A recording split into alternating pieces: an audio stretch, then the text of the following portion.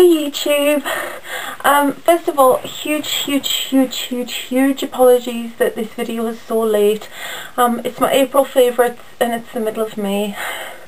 I've been very busy, lots of things have gone wrong this month. Um, losing my memory card, you name it, it's gone wrong. But I'm here now, so yeah, let's get started. I've got a bit to get through. Right, we'll start with makeup. Um, I haven't really stuck to the same makeup really this month. I've bought a lot of new stuff as you'll know if you follow my blog. And these are some um, I've tried different things so I haven't really stuck to anything throughout April. So um, uh, the main things I've stuck to have been a couple of lip products. Um, one of which I've already talked about in a previous video which is MAC and Fabby lipstick. And another one is one I actually purchased in April. And it is this. Uh, that one and it is MAC and Snob. Um, I got this as part to my, back to MAC colour. I'm actually wearing it now. Um, it's a lovely pink. I don't know why I didn't own this earlier. It's a bit bright, but I love pink. I used to hate pink, now I love pink. And I love Snob. It's that lovely, cool sort of pinky colour, and I'm absolutely loving this at the moment. I've worn this an awful lot. Generally for day-to-day -day use though, I've been taping it down with some sort of gloss over the top. Um, and what I've picked up a lot is this one. It's by MAC, labels rubbed off, how annoying.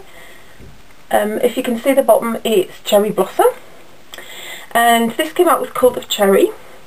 Uh, do a little swatch for you here, can't really see that well. And again, it's a nice cool tone pink and it looks really nice over the top of this, over the top of Fabby, over the top of a lot of things. Obviously it's a limited edition so it's discontinued now but um, MAC generally bring out a lot of these pale, uh, sort of pale pink, slightly shimmery glosses. Um, right, next thing, we'll go with nail care. Um, my nails have been shocking. If you follow my blog again, you'll know I've been doing something called Project Nail Growth. Every month I've been trying a different nail product and I've saw sort of different success with things but to be honest in, the, in April I got some of the best success I've actually achieved so far. And it was from three products from get them right around from Mavala. If you read my blog I've actually done a full review of these but um, I'll just do a quick one here. First of all there's Mavala Scientifique it's sort of a clear water-like liquid that you put on your nails once or twice a week and it hardens and it does. Um, and on top of that I've been using two two products called the Mavala Nail Shield System. Phase one, you apply it and it's like, it looks like trellisy, slightly sparkly trellis on. And it's sort of, um, yeah, it's it basically what it is. It's a fiberglass coat that a nylon coat that actually supports your nail structure. Now, because that's a bit funny, over the top you get something called nail shield, which aids the strengthening process. It's like a pinky colour, you can see it there, but really like those. I was sent those two products, uh, the Nail Shield products, but as I say, I still love them and I would talk about them anyway. Next product, another two I've talked about on numerous occasions. The Liz-Earle Cleanse and Polish System. Love this. I've gone back to this this month, uh, sorry, in April, after using something else, which was okay, it wasn't bad, but as I say, I've said so many times about the Liz-Earle Cleanse and Polish system, you don't realise how good it is till you actually don't stop using it. I've started using it again this month, love it. What can you say that hasn't already been said? Removes everything, super gentle, suitable for all skin types. I've mentioned it before, loads of videos have, loads of blogs have. It's a good system. Definitely check this out if you haven't already. And another item I've returned to this month, um, in April, I keep saying that, but it's April I returned to, is the Elemis Pro Collagen Marine Cream. Um, I think I've talked about this before as well. Um, I love this stuff. It is worth every last very expensive little penny. Again, it's an anti-aging cream, but it's got the most gorgeous cream gel texture. Um, yeah, I need an anti-aging cream. I'm 32 on Saturday. That is very scary. Um, but I still have combination oily skin and I find this absolutely perfect. It just soaks in, it leaves your skin absolutely silky soft, gorgeous. Only problem is the price, but as I, um, as I, think I've said before, if you look at QVC, sometimes they have special value deals with it in. It's sometimes cheaper to buy it in kits and you honestly don't use much and you can use it right up to the eyes which makes it a really worthwhile product. Another skincare product which I haven't talked about before but millions of people have is the Garnier Roll-On. Um, caffeine roll-on um, eyes.